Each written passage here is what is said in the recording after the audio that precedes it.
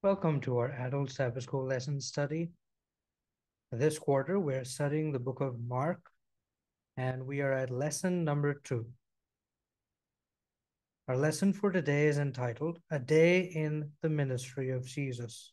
The memory text for this week is taken from Mark chapter 1, verse 17, and it reads Then Jesus said unto them, Follow me, and I will make you become fishers of men. I will read again Mark 1 17. It reads, Then Jesus said unto them, Follow me, and I will make you become fishers of men. Let us bow our heads in prayer. A loving and merciful Father in heaven, we thank you for the blessings you've given us and thank you for the privilege of allowing us to meditate on this gospel. May we be able to understand the truth through your Spirit. In Jesus' name we pray. Amen. As you read through the Gospels, you will realize that the Gospels are interesting. One of the ways the, the Gospels are interesting is that each Gospel has uh, an account of Jesus' life that is a bit different. Sometimes they're narrating the s- same event, but either gospels leave items out or they include information that even seems to contradict.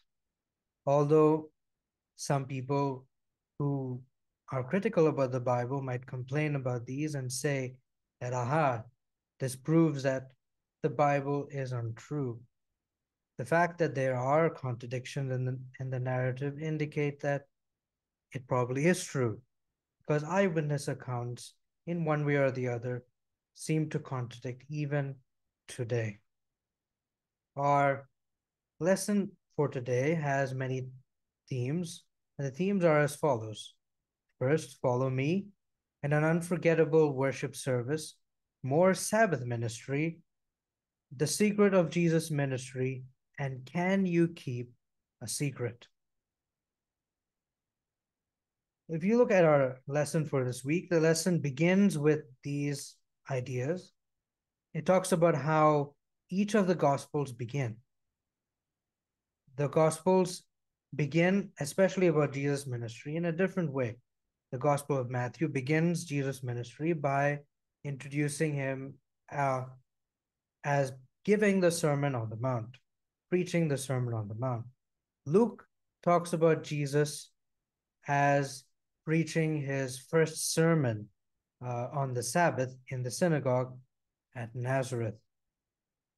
We find John beginning, uh, John recalling the beginning of his ministry as the first miracle that he did at the wedding at Cana. And this was also an indication of Jesus as the Messiah. And for us here, the Gospel of Mark recounts the calling of the four disciples and describes a Sabbath in Capernaum and what followed.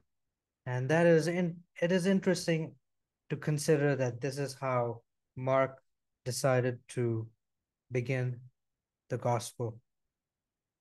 Another interesting fact that the lesson tries to point out is the phrase or, or the term immediately. You'll find immediately sprinkled all over the book. And it's interesting that it is present in that way. You don't find this in any other of the Gospels. And this is probably the reason why it might be there. It's said that Jesus is portrayed in Mark's Gospel as performing one action after another.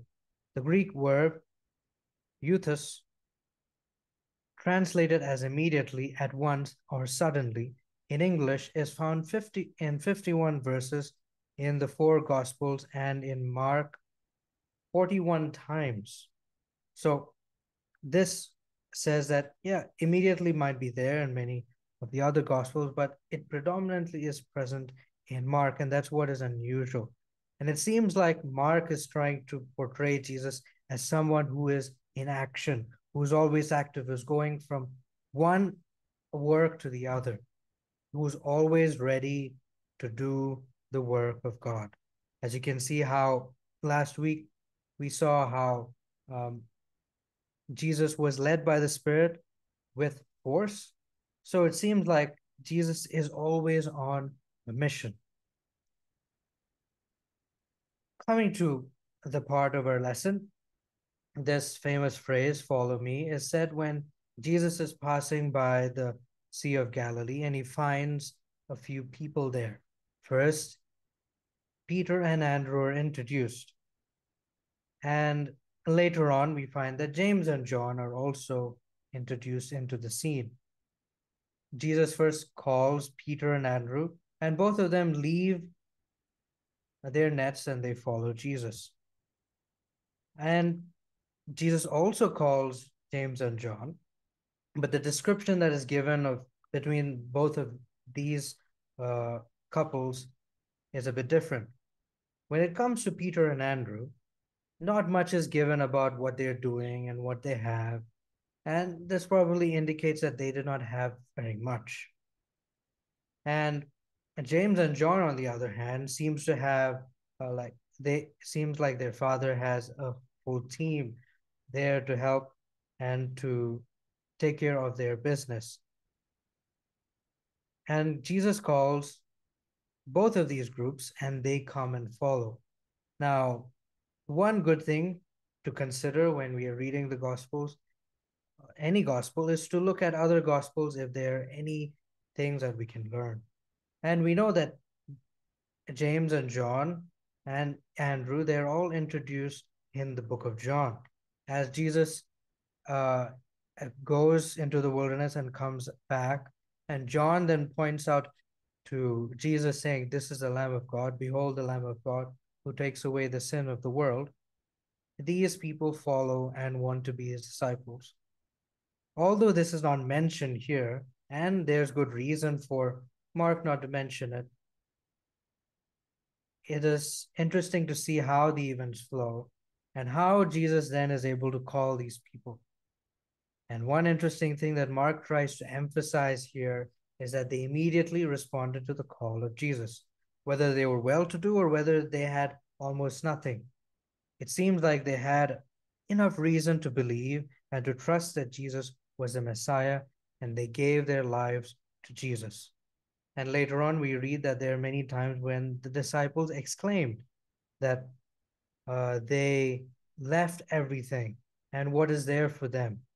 And ultimately, at the end of Jesus' life, when he died and resurrected, they re- realized what Jesus had actually given them and the treasure of relationship and experience they had with Jesus. But it's interesting to see that these disciples when they did not know too much about Jesus, were willing to follow with just a little knowledge about who Jesus was or what he was able to do. So, a question that we can ask is what have you left to have Jesus? That's an interesting question, isn't it? Because in some way, Jesus has to be ours, he has to belong to us in a way to say that is Jesus precious to us? Is he something that we, is he someone that we cherish? Like when we have a friend, or even, say, for example, uh, a married couple, they cherish each other. In fact, they belong to each other. In a similar way, God wants to have a relationship with us where we belong to Him and He belongs to us in a way. So, what have you left to have Jesus? Sometimes we don't need to leave too much because all of these can be used by God. But there are other times when we really need to leave some things. It may be even legitimate things, just like how Abraham did. But like the example here that Mark shows, many of the disciples, or at least the fishermen disciples, they left everything immediately to follow their Messiah. The story then moves forward to a Sabbath worship where the disciples, along with Jesus, are there in the synagogue and they're worshiping uh, on the Sabbath. And at that time, we find that a demon possessed person comes to, worship and then causes a ruckus. It's very interesting to find a demon possessed person in the synagogue. Synagogue was a place where they people re- received religious instruction, and it was something that where uh, some place where people used to worship. It it was a very later addition to the Jewish life, uh, and but by the time of Jesus, synagogues existed in many places where the Jews were. To find a demon possessed person in the synagogue on the Sabbath is a very interesting uh, combination. And we, when we read the story, we see that this demon possessed person uh, speaks about Jesus and calls Jesus the Holy One of God. And the demon does show some kind of indication that he does not like the presence of Jesus there. But it's interesting that as Jesus interacts with the demon possessed man, he commands the demon to be silent. And this is an interesting theme that you find in many uh, of the instances where Jesus performed miracles. He wants either the people or, here in this case, the demons to be silent. And so, a question that is asked by the lesson is what does it mean to be prudent in witnessing present truth? Because here the lesson tries to point out that yes, it is true that the demon proclaimed Jesus to be uh, the Holy One of God. And we find even in the book of Acts, example like where Paul and Silas uh, healed or cast out a demon from a woman, although she was really telling the truth. So we can understand it is not just simply about affirming or speaking the truth, but even the way we deliver the truth is important. And the timing in which truth is delivered is also important. All of these factors need to be taken into consideration. Well, the truth is is I mean, truth is objective. It's important for us to recognize when to speak and when not to speak when to introduce a subject and when not to, because not everyone is ready to understand and uh, accept truths.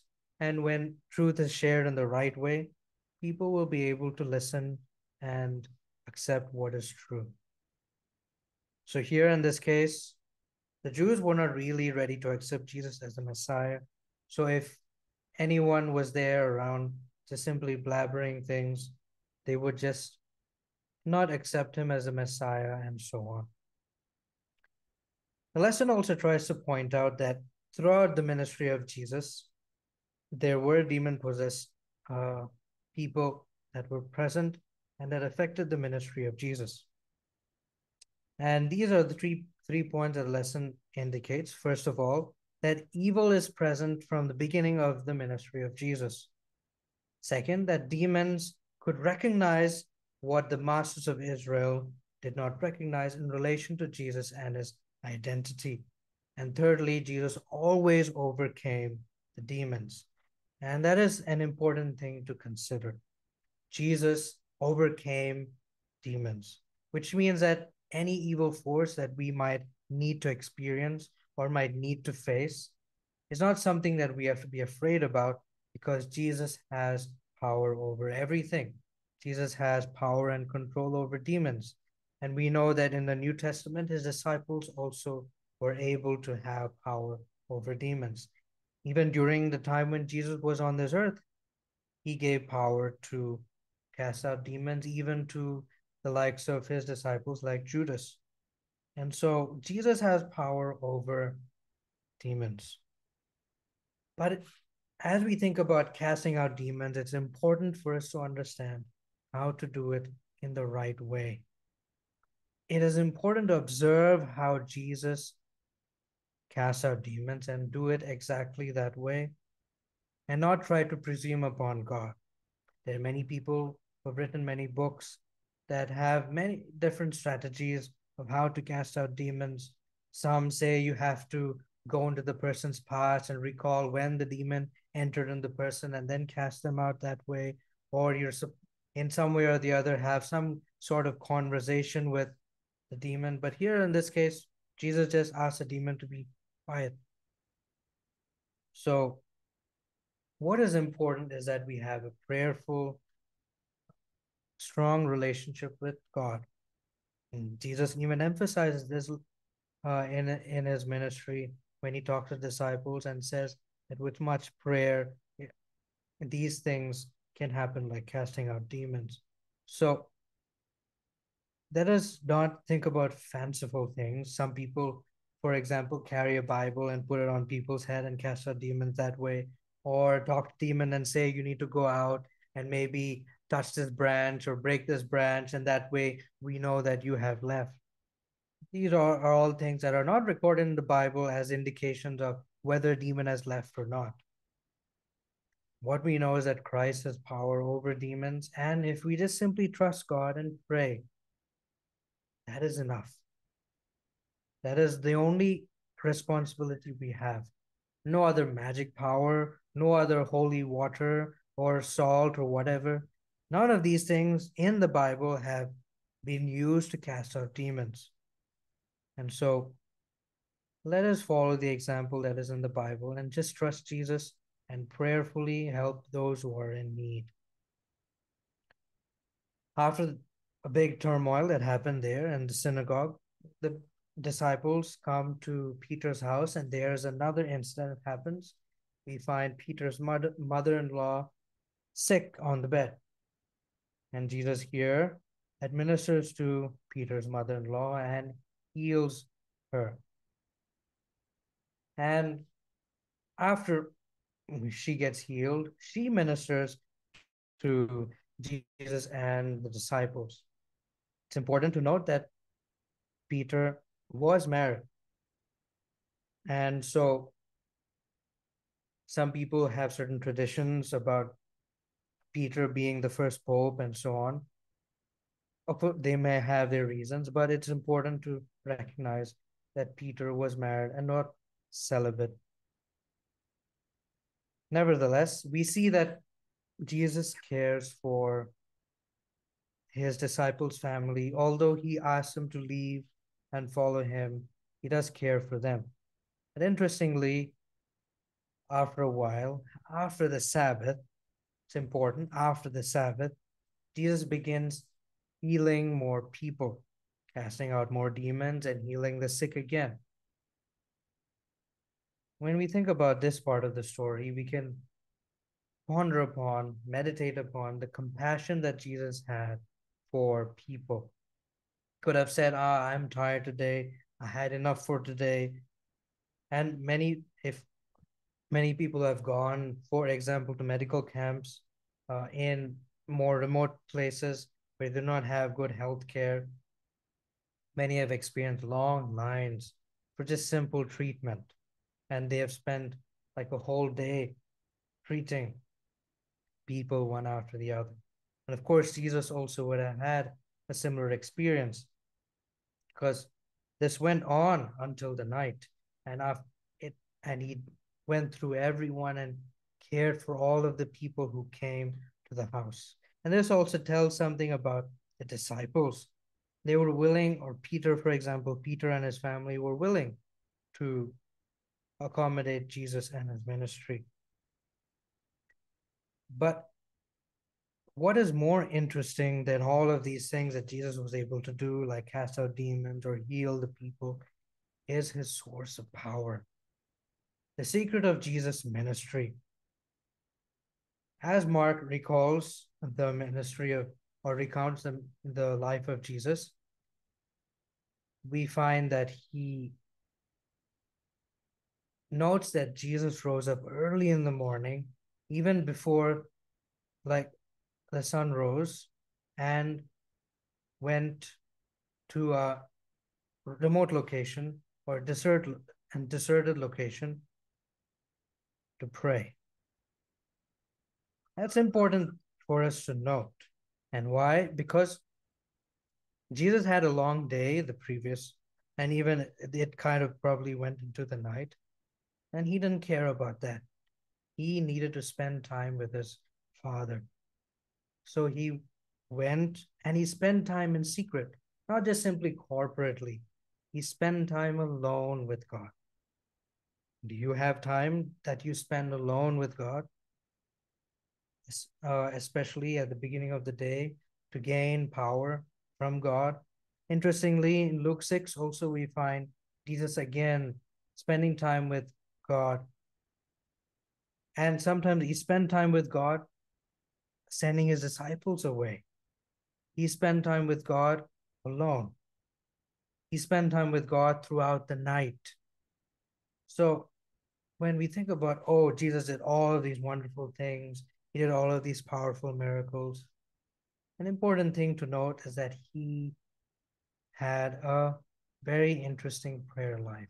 There are many prayers that recorded in the Bible. One of these is John chapter 17, a very beautiful prayer indeed. And one interesting thing you find also is that one of the things the disciples asked Jesus to teach them was not how to preach, was not how to heal, but it was how to pray. So, a question that we can ask is what does the prayer life of Jesus tell us about how we need to pray? Of course, we have heard this many times that Jesus prayed a lot, and so we need to pray. But the, the prayer that Jesus prayed, or the prayer life that Jesus had, didn't just simply come out of necessity, it came out of a deep longing. It came because his heart is, was in tune with God. So if you, for example, find it hard to pray, it probably means that you have to wrestle with God and ask God to change your heart. Because a heart that is given to Jesus is a heart that will pray. Because a heart that's given to Jesus is a heart that will long to be with Him. And so, the secret of Jesus' ministry is that He prayed. Some of us might uh, be sad about many of the things that are happening in our church or even in the world. But many of us who are sad may not be spending enough time praying. Maybe if we prayed, we might see wonders. Who knows? God works wonders when his people join in prayer. We find it all through the Bible. And so, when we meditate upon the life of Jesus, perhaps this should encourage us to spend some time in prayer. The last portion of our lesson focuses on a miracle that Jesus did. Yes, after Jesus spent time in prayer, we find like around that time, the disciples go around searching for him, saying that there are some people that are to be healed. And Jesus doesn't mind that, but he says, no, we need to go to other places. So it's interesting the way that Jesus had his healing ministry. He didn't just simply stay in one place, and he didn't just simply heal for the sake of healing. He healed for a purpose. He probably healed so that people will understand the Messiah has come to bring the good news of his ministry and his sacrifice and his uh, work that he wants to do his plan of salvation to his people. And so we can clearly see that Jesus is not like many of the healers that we might see popular today, who ask people to come to them and then they do some kind of prayer or whatever. And some people seem to get healed and they're always in large crowds, collecting a lot of offering and so on. If they're true healers, I bet that they would be like Jesus, not caring too much about crowds, but caring about individuals, caring for, for, to have individual experiences, and not calling people necessarily to come to Him, but going where the people are. This story is about a story of a leper, and leprosy is something that probably came from the Near East. And uh, leprosy simply means a dreaded skin disease. Although today we refer to leprosy most uh, to Hansen's disease, but leprosy could mean any any bad skin disease is leprosy. They do not really know how to differentiate, but this could be uh, the same disease, Hansen's disease, that this person was uh, facing, but it could be any other skin ailment also. When you look at the story, we find that the leper asks Jesus to heal him. And he says, If you will, make me clean. And wonderfully, we see that Jesus wills to make this leper clean. And this shows how much compassion that how much compassion Jesus had for the people around him, for the people who came for help. And after he heals, he instructs he instructs the leper or the former leper to go and offer sacrifice according to the law of Moses. And this appears to be the case that Mark was is trying to paint Jesus as someone who upholds the law of Moses and was not someone who just simply tries to put push the law of Moses aside. Consider how he begins. He begins with Jesus attending the synagogue and not simply doing miracles on the Sabbath uh, on the whim, like as if that's work. So we really see Jesus to be someone who cares about the law that he gave. And so he instructs him to go and show himself to the priest and also instructs him not to tell anyone about what he had done. Although it's a strange request because when someone has done something good for you, you'd always want to announce it, spread the good news so that people will, uh, because you're just happy. But Jesus really wanted this man not to share this happening with anyone. And unfortunately, because this man shared what has happened to him, Jesus' work was hindered and he had to go to other places because of what uh, what this man did. And so a thing that the lesson tries to point out is that good intentions do not make good actions. There are many things that we might want to do for the gospel, we might want to do for this or that, but is it a good time? Is it a good place? These are some things we need to consider. Will sharing the gospel in one way hinder my progress? Will people misunderstand me if I communicate in this way or that way? These are all good things to consider, and Mark makes us think about that. Finally, when we look at our lesson, let us think about this question. Jesus' entire life was marked by self denial from the cradle to the cross.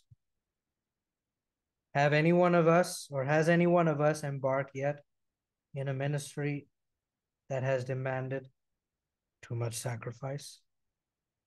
It's a good question to ask. Have we really endured too much sacrifice? For example, like Paul, or even like Jesus, have we endured self denial at the level of Jesus? That's a question that this portion of Mark is trying to ask us. The disciples left everything and followed Jesus. The demons were too afraid to uh, approach Jesus or challenge Jesus. They just fled away. Jesus dedicated his life to ministering for those who are sick and weak and spent a lot of time with them, but did not compromise on his time with the Father. And he didn't care about fame or name in the sense of becoming popular with people, but he cared about doing what was the mission of his Father. And so he moved from place to place, healing and teaching, so that people will be able to accept the truth that he was wanting to give them. And ultimately, we know that he lived a life of sacrifice. So, have you lived the same life? Have you made decisions in a similar way? That's a good question to ask. That's a good question to meditate on. And it's a good question to discuss in each one of our Sabbath School lesson classes. So, this will be it for our second lesson. And we hope that God will be able to bless us and guide us more as we continue to study the Gospels and understand the truth that He has preserved for us. Let us pray. Loving and merciful Father in heaven, we thank you for the lessons we learn about Jesus, about his life, and about the way he did his ministry, about how he interacted with the people and the sacrifices he made. We thank you for the disciples willing to give their lives for you, even sacrificing their own families. May we be able to give all, have the attitude of giving all to follow you. In Jesus' name we pray. Amen.